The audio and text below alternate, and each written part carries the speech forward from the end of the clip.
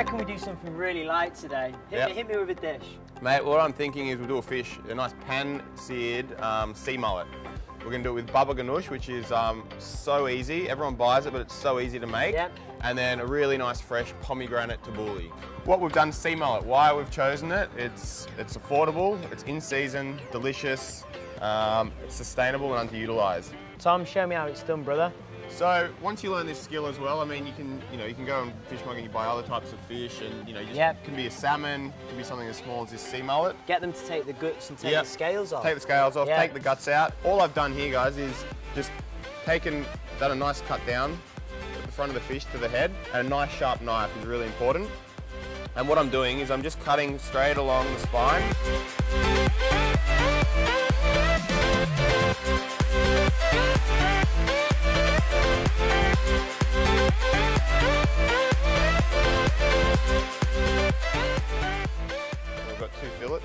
Amazing. and that is like that is Too what, easy. 30 Too seconds. Easy. Yeah. And if you do want to use the fish, you can use it for a stock. So what you got left here is you've just got the, the belly part.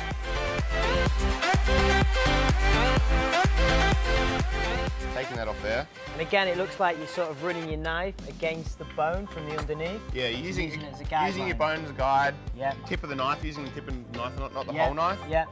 Um, and then, I mean, you're always going to get left with a few little things.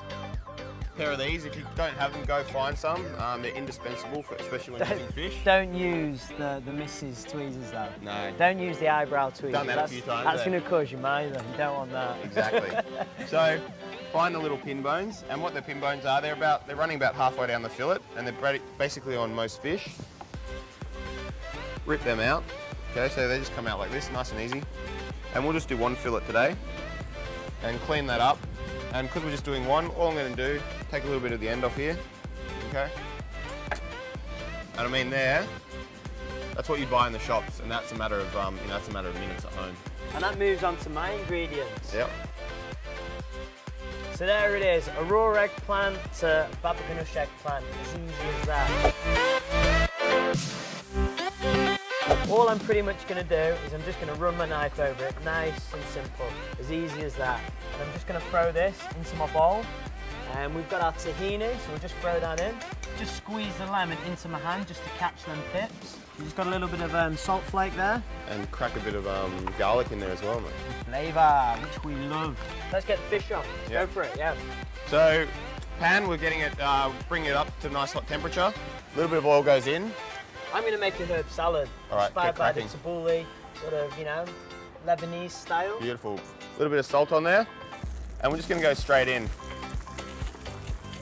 It's gonna curl up a little bit. We can give it a little bit of a press down.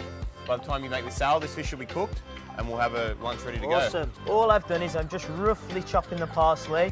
Don't take all the stalk, I'll just leave the rest, put it to one side. I might flip my board and I'll um, give you a hand with that. Yeah, sounds good, sounds good. So if you want to maybe pick that mint leaves, we'll throw some mint in there as well, Tom.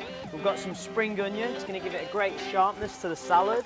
And we'll just go nice and fine with this. When you put in these sort of herb style salads, it's also about texture as well. It's all good, it's all good. The so pomegranate is also, I mean, it's amazing for you. so I'm just going to squeeze some more lemon into there. And then we've got a Lebanese cucumber. So all you can see I've done there, I've kept the seed in, I've just roughly diced that. This tabbouleh salad is looking absolutely awesome, so I'm just going to grab the pomegranate and I'm just going to split it in half. There's a little technique to this. So all we're going to do is just going to flip that pomegranate around, hold your hand, and we'll just give it a nice tap. All them seeds should pop out. Look at that. We'll mix that up. I reckon you finish off that fish and I'll start plating up. Beautiful, mate. A little bit opaque, so we're just gonna flip it. Nice golden skin. While it's happening, you dress that salad and we'll, um, we'll be done. Awesome. So I've got a little bit of pomegranate molasses, going to give it a beautiful sweetness. I'll just give a nice little teaspoon of that or so. Excellent. You bang that fish on there, Tom, and I'm just going to garnish this with this awesome immune busting salad that we've done. Beautiful, beautiful. Wedge your lemon, I reckon. Epic. There you go, chef. There it is. Awesome. A nice little drizzle of olive oil. Ooh, There you go. beautiful. there it is, motivational meal, keeping it real. Chef Tom Walton, the Northern Monkey. Set them goals, man. Right, let's get into it. In the kitchen and workout. Boom.